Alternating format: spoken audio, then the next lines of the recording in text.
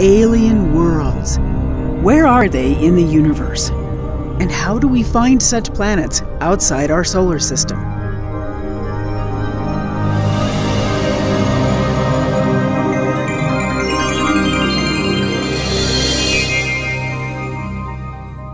The worlds of our solar system hold clues to understanding exoplanets and the chances that life might exist on distant alien worlds.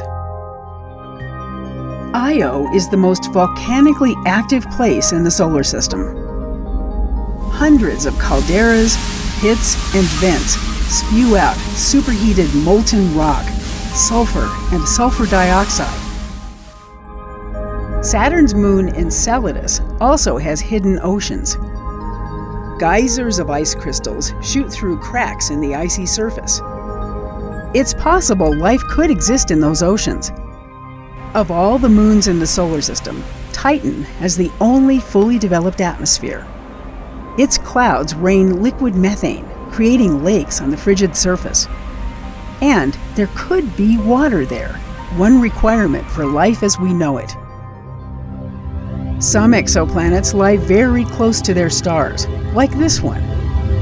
It orbits near a pulsar, a rapidly spinning, highly magnetic compact star. A planet orbiting too close to its star would be a burning inferno. It would have no water or atmosphere.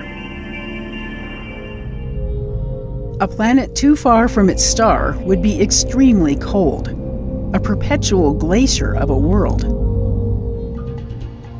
Kepler focused on a small area of the sky near the constellations Cygnus and Lyra. It captured the flickering of target stars and sent data to Earth for astronomers to study. They confirmed thousands of Kepler's observations as exoplanets. If there is an extraterrestrial civilization in our vicinity, they may have noticed our presence already.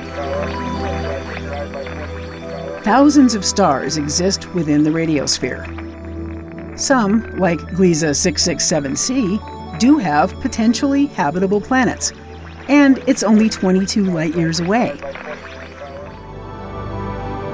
They probably won't look like us, or even think like us. Yet, their very existence will prove that we are not the only beings searching for life and discovering new worlds.